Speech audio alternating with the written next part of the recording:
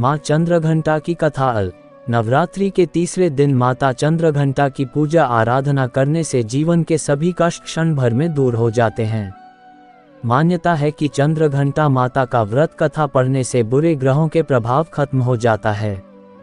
नवरात्रि के तीसरे दिन देवी चंद्रघंटा की पूजा आराधना की जाती है। देवी चंद्रघंटा भक्तों की दुख और परेशानियों को दूर करती है। भय से मुक्ति और शत्रुओं का नाश करने के लिए चंद्रघंटा की आराधना करनी चाहिए। नवरात्रि हिंदुओं का विशेष पर्व होता है। नवरात्रि के नौ दिनों तक आदिशक्ति नव दुर्गा के नौ रूपों की पूजा की जाती हैं। नव दुर्गा की पूजा आराधना सच्चे मन से करने से व्यक्ति की परेशानियाँ, शत्रु का भय सभी दूर हो जाते हैं। नवरात्रि के तीसरे दिन चंद्रघंटा माता की पूजा आराधना की जाती है। चंद्रघंटा की पूजा करने से अशुभ ग्रह के बुरे प्रभाव खत्म हो जाते हैं। धर्म के अनुसार देवी चंद्रघंटा की पूजा करने से व्यक्ति के अंदर निर्भरता, सौम्यता और विनम्रता जैसी प्रवृत्ति उत्पन्न होती है। देवी का ये रूप अत्यंत शांत और सौम्य है।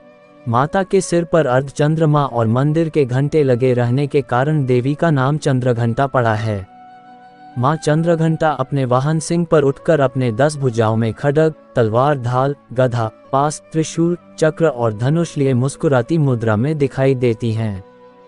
हिंदू शास्त्र के अनुसार जब देवताओं और असुरों के बीच लंबे समय तक युद्ध चल रहा था तब असुरों का स्वामी महिषासुर ने देवताओं पर विजय प्राप्त कर इंद्र का सिंहासन छीन लिया और खुद स्वर्ग का स्वामी बन बैठा। इसे देखकर सभी देवता गण काफ़ी दुखी हुए। स्वर्ग से निकाले जाने के बाद सभी देवतागण इस समस्या से निकलने के लिए त्रिदेव ब्रह्मा, विष्णु और महेश के पास गए। वहाँ जाकर सभी देवताओं ने असुरों के किए गए अत्याचार और इंद्र चंद्रमा, सूर्य, वायु और अन्य देवताओं के सभी छीने गए अधिकार के बारे में भगवान को बताया। देवताओं ने भगवान को बताया कि महिषासुर के अत्याचार के कारण स्वर्ग लोक तथा पृथ्वी पर अब विचरण करना असंभव हो गया है। तब ये सुनकर ब्रह्मा, विष्णु और भगवान शिव शंकर अत्यंत क्रोधित हो गए।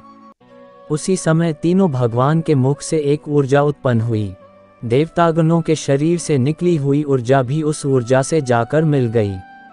यह ऊर्जा दसों दिशाओं में व्याप्त होने लगी। तभी वहाँ एक कन्या उत्पन्न हुई। तब शंकर भगवान ने देवी को अपना त्रिशूल भेंट किया। भगवान विष्णु ने भी उनको चक्र प्रदान किया। इसी तरह से सभी देवता ने माता को अस्त्र शस्त्र देकर सजा दिया। इंद्र ने भी अपना वज्र एवं ऐरावत हाथी माता को भेंट किया। सूर्य ने अपना तेज, तलवार और सवारी के लिए शेर प्रदान किया। तब देवी सभी शास्त्रों को लेकर महिषासुर से युद्ध करने के लिए युद्ध भूमि में आ गई। उनका यह विशाल का रूप देखकर महिषासुर भय से काम उठा। तब महिषासुर ने अपनी सेना को माँ चंद्रघंटा के पर हमला करने को कहा।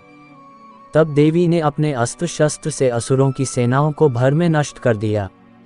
इस तरह से माँ चंद्रघंटा ने असुरों का वध करके देवताओं को अभयदान देते हुए अंतर्ध्यान हो गई। बोलो, जय माता दी। दोस्तों, आपको ये कहानी कैसी लगी? कमेंट बॉक्स में बताना के लिए चैनल को सब्सक्राइब करना ना भूले।